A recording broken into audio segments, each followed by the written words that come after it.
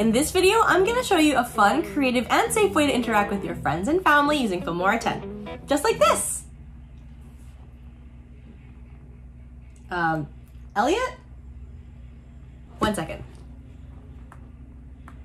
And remember, there's no limit to. One sec. Hey, what's up?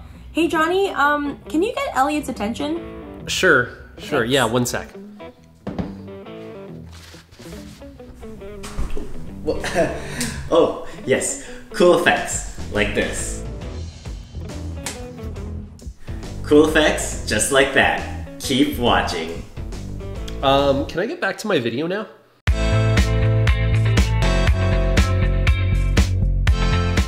Hey everyone, it's JJ from Wondershare Filmora here to empower your inner video creator. If you haven't already, don't forget to subscribe to our channel and hit that notification bell so you're always updated on our next video releases.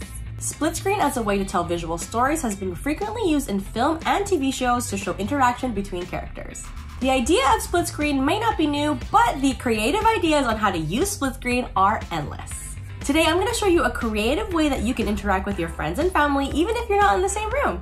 Are you ready? Let's go! First, I have to plan out a scene where I have my friends pretending to interact with objects in each other's rooms. The interaction could be as simple as snapping a finger, giving a high five, or turning on a light. It's best to plan this out ahead of time with a storyboard.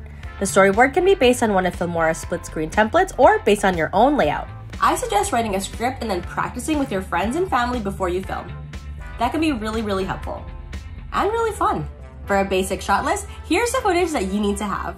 One person to act in each split screen, a prop to interact with in the house of each person, and you'll need a helper from home to pretend to be the friend who's reaching from off camera.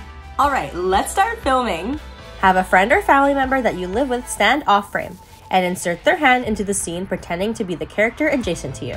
Record a few different takes for each person just to be safe, and then have everyone send over their footage. Once all the footage is ready, pick the best takes and import them into Filmora 10. Drag and drop the split screen preset you want your scene to be based on from the split screen tab to the timeline. Then import the footage to each screen according to the storyboard. If the storyboard is based on a customized layout, you can also manually resize each clip. Double click on the clip, open the transform setting on the top left, scale and move each clip so that the hand moving from frame to frame lines up.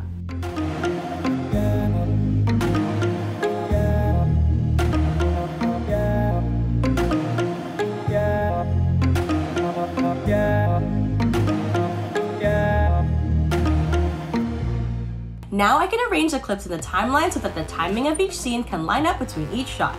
The most important part is the first time the hand is supposed to move from one frame to the other. Try to nail the timing to sell the effect. If you're experiencing lag during the preview, try clicking on the render button on the top right of the timeline to render out for a smooth preview.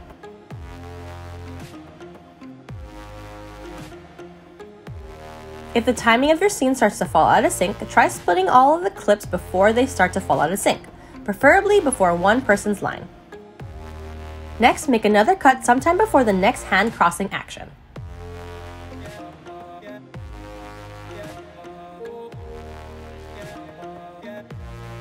Take one of the character's videos from this in-between moment and then make it full screen.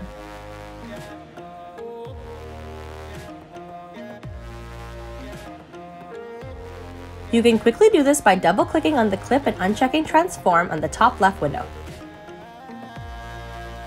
You're now free to readjust your clips in the next part back into sync. Let's play it back and let's see how it looks.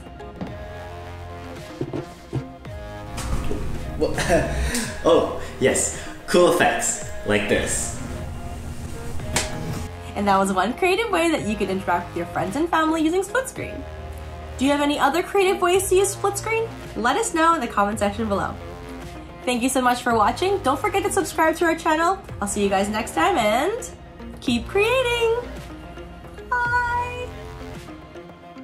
Watch in Elliot's direction and smile for a good 10 seconds. 10 seconds is a long time.